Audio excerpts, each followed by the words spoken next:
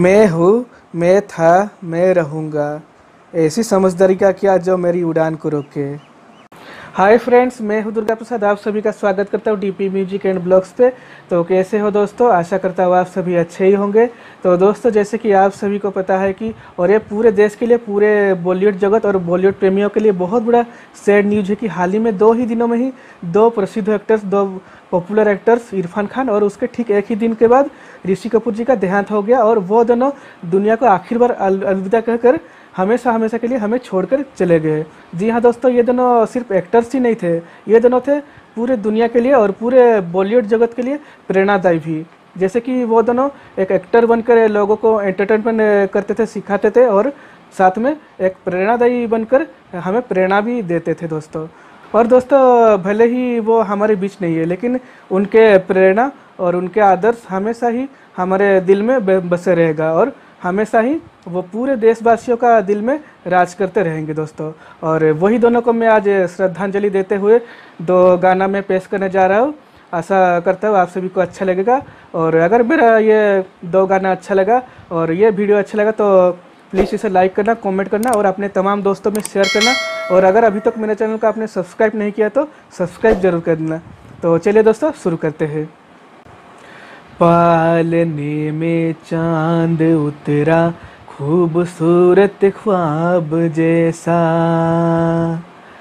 गोद में उसको उठा था तो मुझे लगता था वैसा। सारा जहाँ मेरा हुआ, सारा जहाँ मेरा हुआ सुबह कि वो पहली दुआया, फूल रेशम का मासूम सा मासूम सा, मेरे आस पास था। मासूम सा मासूम सा।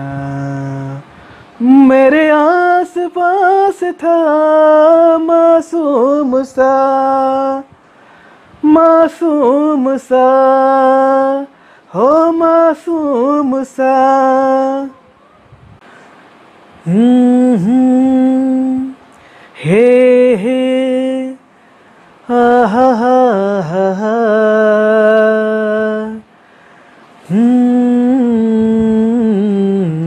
हे हे हे।